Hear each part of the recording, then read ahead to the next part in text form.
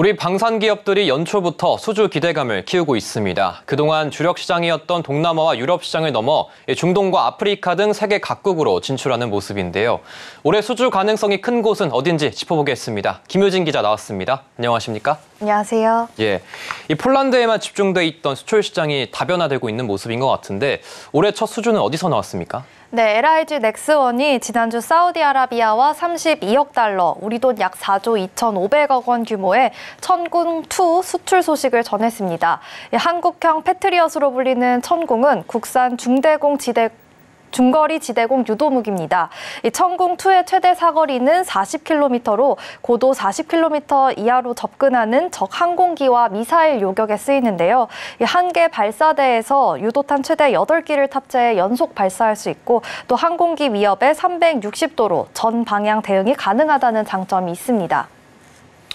네, K방산의 기술력을 알아봐 준 것 같습니다. 네, 항공 한국항공우주산업 카이가 올해 6조 원에 가까운 수주 목표를 세웠는데 이 목표 달성을 위해서 수출 기종과 수출국 다변화가 좀 필요할 것 같은데요. 네, 그렇습니다. 카이는 올해 최초로 양산 계약 체결을 앞둔 국산 초음속 전투기 KF-21을 출두로 수리원 헬기의 첫 수출과 FA-50의 신규 시장 개척 등을 통해 완제기에서만 3조 원 가량의 수출을 하겠다는 계획입니다.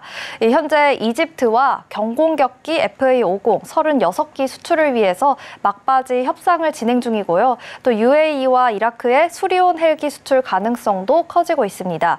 여기에 슬로바키아의 고등훈련기 교체 사업과 미국의 공군, 해군 훈련기 도입 사업 수주 등도 준비하고 있습니다.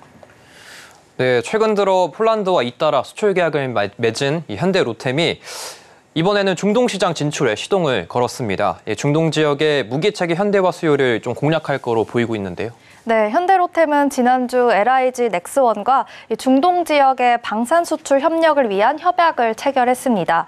현대로템의 플랫폼에 LIG 넥스원의 무기를 탑재해서 경쟁력을 높일 수 있기 때문인데요. 실제 현대로템은 LIG 넥스원의 대드론 통합 방어 체계를 탑재한 디펜스 드론, LIG 넥스원의 유도무기 비궁을 탑재한 다목적 무인 차량 등을 선보이기도 했습니다. 이 업계에서는 올해 폴란드 추가 공급 외에 넥스원 대원과 중동 수출 협약을 맺고 시장 확대에 나서는 만큼 성과가 나올 것으로 기대하고 있습니다. 네, 한화는 최근에 루마니아 시장에 좀 공략을 하고 있죠. 네, 한화 에어로스페이스는 루마니아를 대상으로 K9 자주포 수출에 기대를 걸고 있습니다. 업계에선 K9 자주포 수출 계약이 이르면 이달 말이나 다음 달쯤 체결될 수도 있을 것으로 전망하고 있는데요.